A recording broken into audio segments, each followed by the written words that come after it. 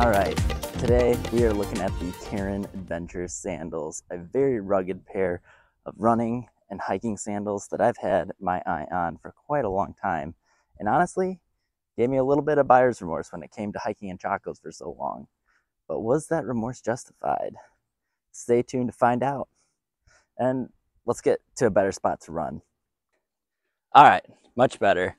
Got the running clothes, got the double stroller, and we have the Bedrock Cairn Adventure Sandals, which are Bedrock's most basic adventure sandal. Hello, my name is Nick. I'm into minimal style running, sandal running, and I'm trying to make these videos and comparisons to help you make a better choice when it comes to your minimal style footwear and sandals. If you're interested in that kind of content, please like, comment, subscribe, hit that bell notification, help that YouTube algorithm and grow this tiny channel. It's greatly appreciated. And Quick side note, Bedrock did not send me these. I purchased these with my own money and all these thoughts are my own.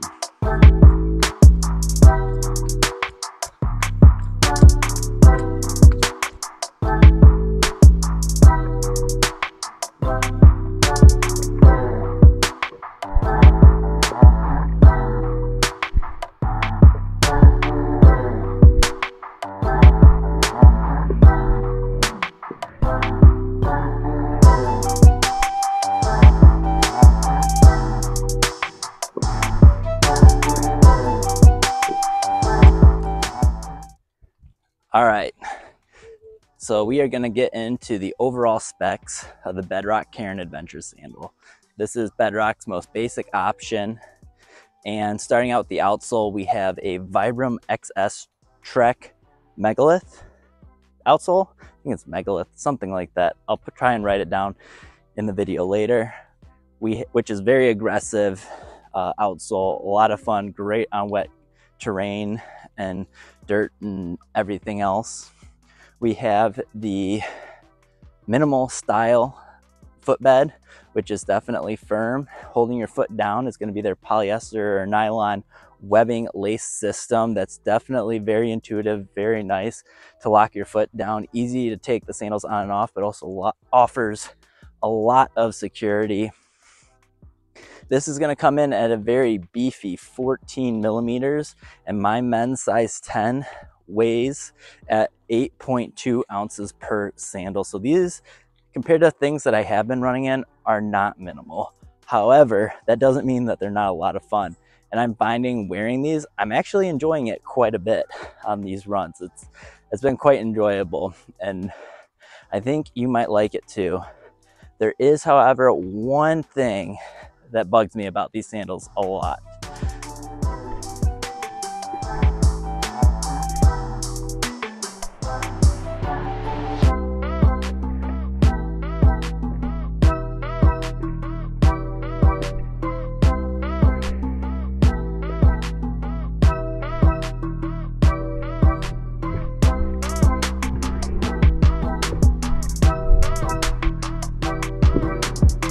So we're probably a little over a mile in here.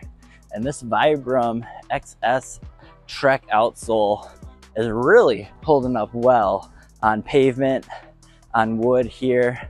It's not raining today or wet, but I did get a chance to use these in some wet grass, moving some heavy things, and I felt incredibly secure. Big positive, and I am honestly really loving these. I thought they would feel worse, kind of like running in a trail runner on pavement. Sometimes that feels awful and super uncomfortable. You can feel all the knobs and the spikes or whatever's underneath. But on these, I'm not having that issue. It feels firm. I can tell that I'm high off the ground, but it feels pretty good. And grip with these, no issue. So far. And they seem to be holding up the tread on the bottom. I haven't ripped off any chunks or anything yet. So I'm definitely enjoying that.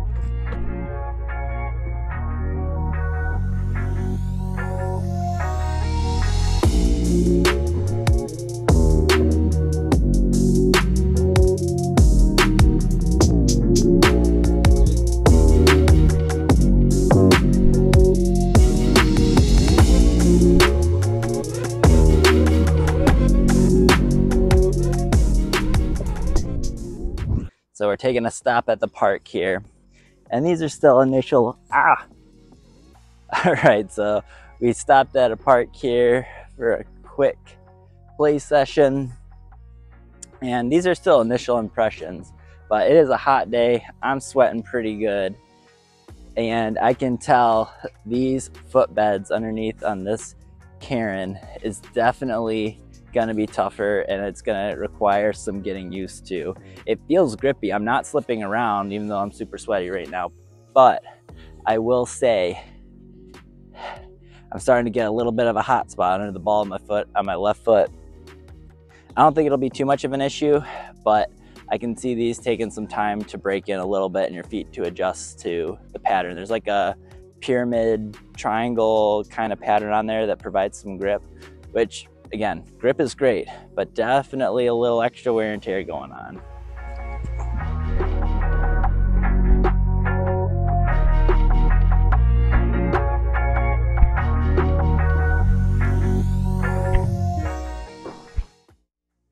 Okay, so lastly, let's touch on the laces here.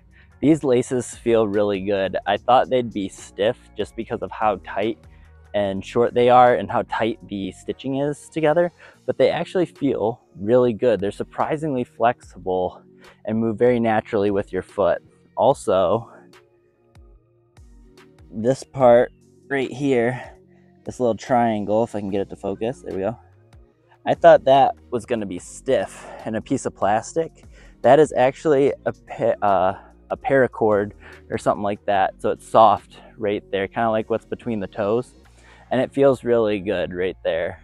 So good airflow, even though the webbing is wide, no hot spots or any issues there. I'm definitely happy with the materials that Bedrock chose here. And it keeps you on the sandal, it keeps you locked in and you feel very secure. I will say too, these sandals, more up and down along this bone of your foot, that webbing goes up and that's compared to other sandals that normally when there's a toe post it'll go this way more lateral. But on these that's not the case but that's okay. It seems like that strap is happy to be more vertical up that first digit right there. Um, it works well. So if you're worried about the angle or anything of those straps don't be. It works really well. All right we're going to wrap up this video on the Bedrock Cairn Adventure sandals. Originally, I planned to do this sitting down at a table, but I just don't have that kind of time. So we're going to talk about it on the trail, starting out with the outsole.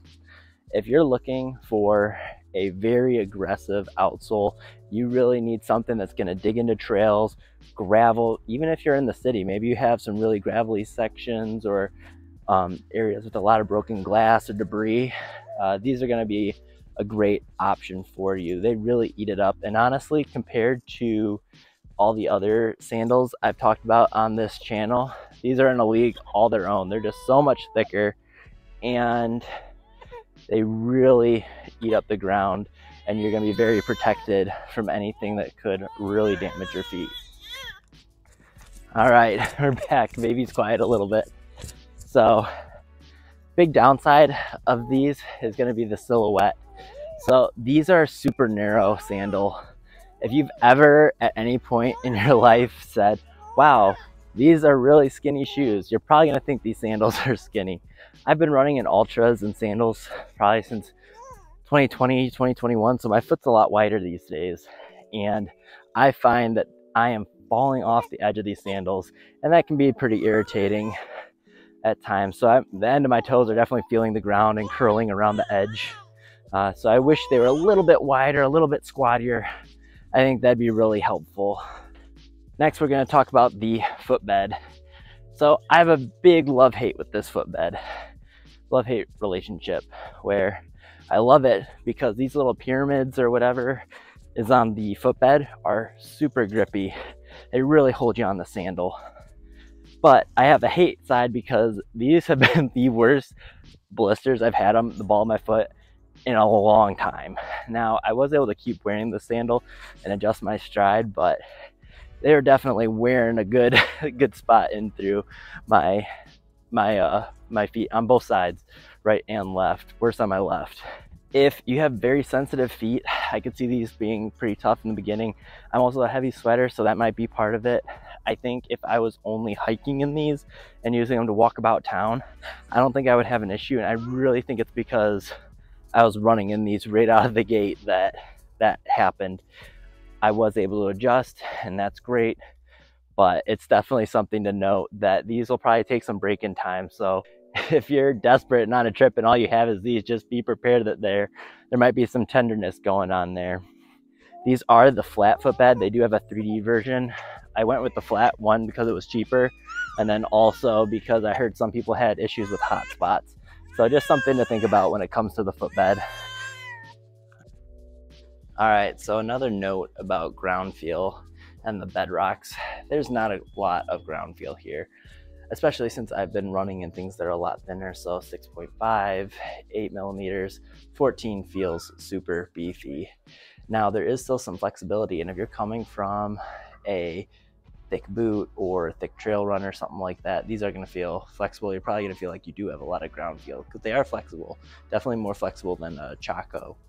Um, but I think it's going to come down to what are you looking for? Are you looking for more protection, something stiffer? Is this some a new uh, type of running, hiking, that kind of thing that you're getting into? So having something that is stiffer is probably going to be an easier transition. Only you're going to be able to really tell, but it's definitely something to note. All right, so Last, we're going to talk about the laces. I'm actually a big fan of these laces. They feel really good. I didn't have any issues with the hot spots there.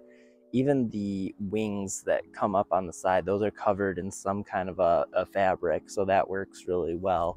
And I actually like the support that that extra rubber gives you on the sides, on the inside and outside of your foot.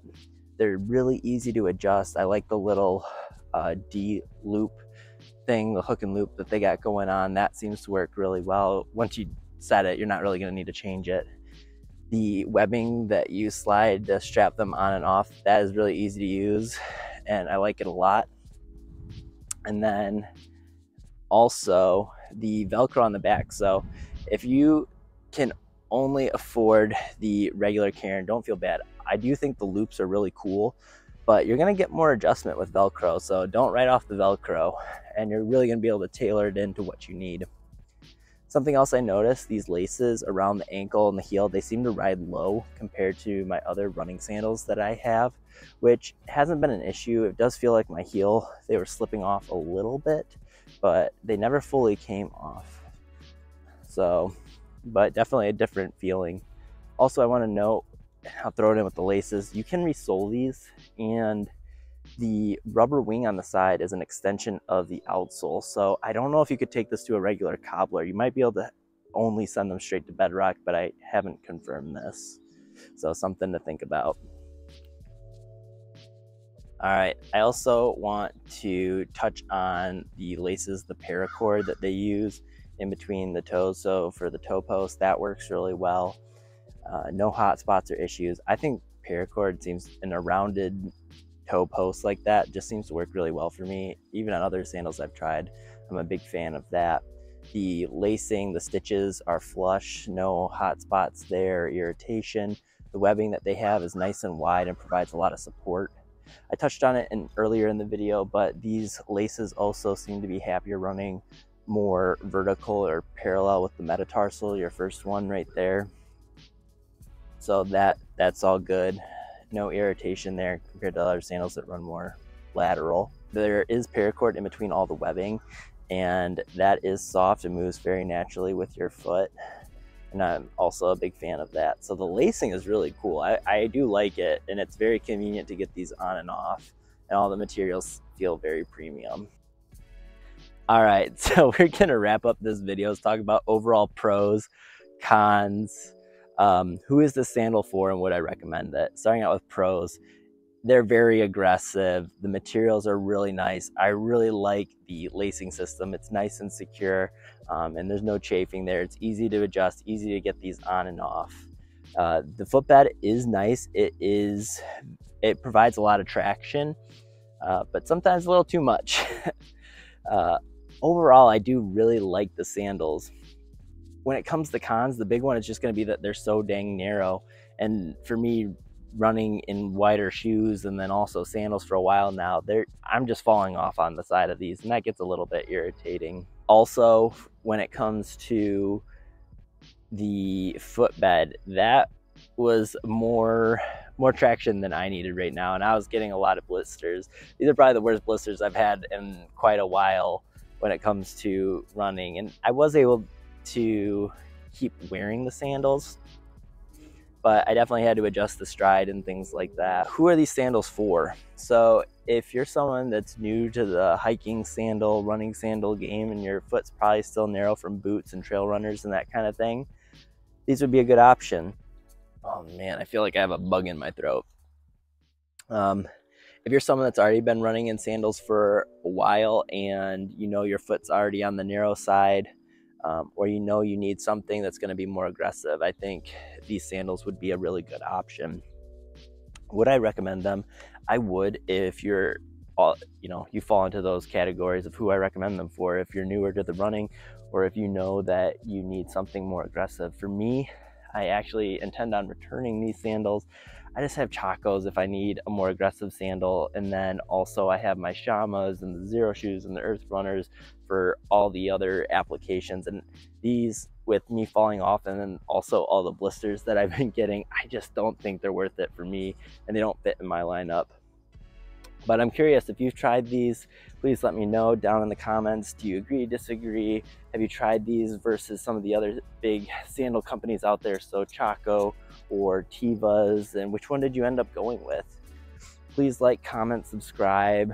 Um, it's greatly appreciated and help grow this tiny channel.